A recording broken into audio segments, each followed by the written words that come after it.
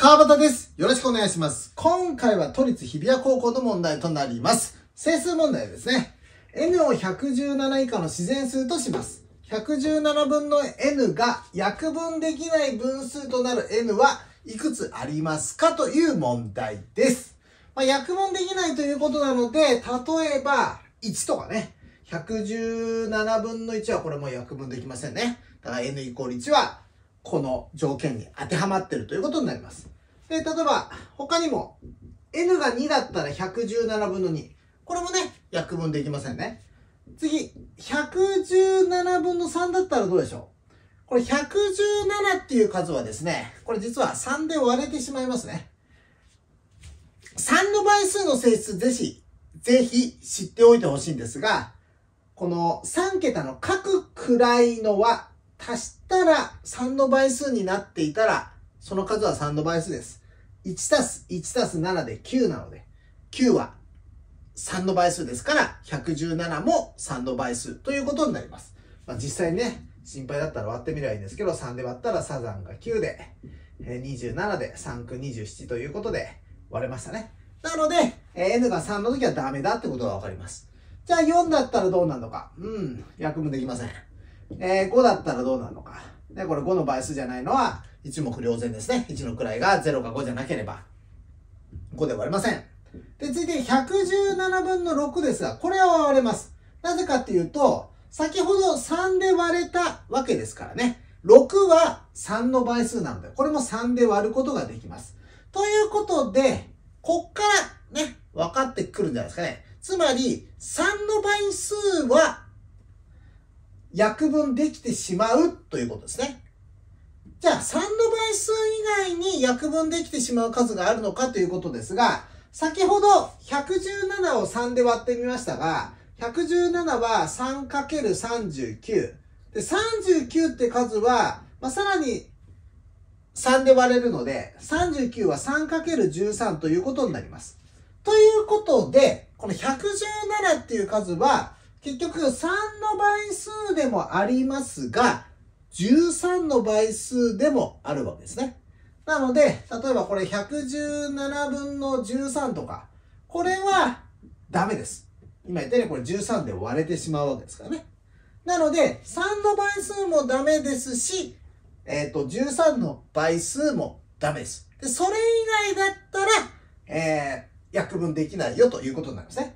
なので、1から117の数がある中で、3の倍数と、これダメですよと。で、また、えっ、と、13の倍数もダメですよと。で、気をつけてほしいのは、これ、重なってるもの。つまり、3の倍数かつ13の倍数である39の倍数ですね。39の倍数は、これ、あの、2つの3の倍数と13の倍数ね、ダブってしまうことになりますので、そこはね、えーちゃんと、あの、ダブって数えてんだったら、引かなきゃいけないということになりますね。したがって、えー結局のところですね。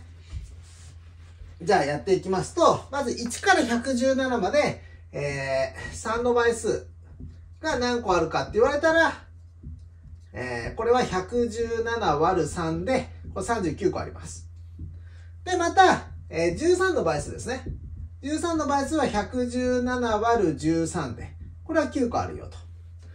で、えーここが39個、ここが9個。だけど、えー重なったところですね。つまり39の倍数。これは117割る39。で、えーこれ、結局3個あることになります。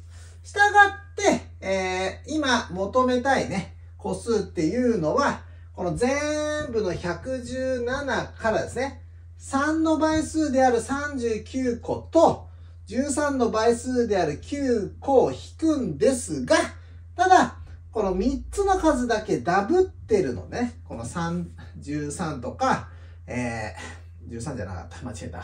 えーダブってるこの39の倍数である39とか、え39に2をかけた、えー78とかですね。さらに3をかけた117とか。で、これはダブってるので、このダブったやつ3個分を引くと。そうすると3の倍数または13の倍数の個数が出て、で、それ以外だったら、えー、約分できませんよということになるので、これを計算したのが答えという具合になります。そうすると、えー、計算すると117引く、えー、45という具合になりますね。したがって、えー、72という具合に出るわけです。はい。ということで、えー、ちょっとね、倍数の個数に結果的にはなるわけですけれども、まあ最初はね、ちょっと初心者の方はですね、自分でちょっと、1、2、3、4、5とかやってみて、そうするとね、あ、3の倍数ダメだなとかね、気づきますのでね、そうすると、あ、倍数の個数の話になってくんだなということで、このようにね、考えることができるよということになります。はい、えー、こちらに書きましたがね、数学ナイトキャンプということでね、え今年最後のナイトキャンプ。まあ、子供も大人もね、同時開催ということで、えー、今回のね、数学ナイトキャンプはですね、え今回もと言ったらいいでしょうかね。あの、個別にですね、問題を作ります。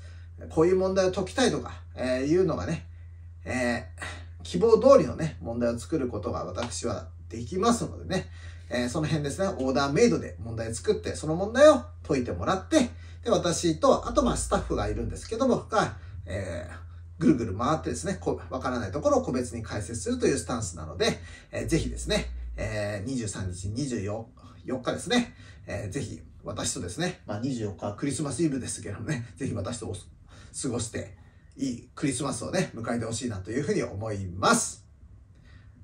詳細はホームページに書いてありますので、えー、そちらの方からですね、LINE もしくは、えー、メールの方でね、ご連絡いただければというふうに思います。以上で解説終わります。では。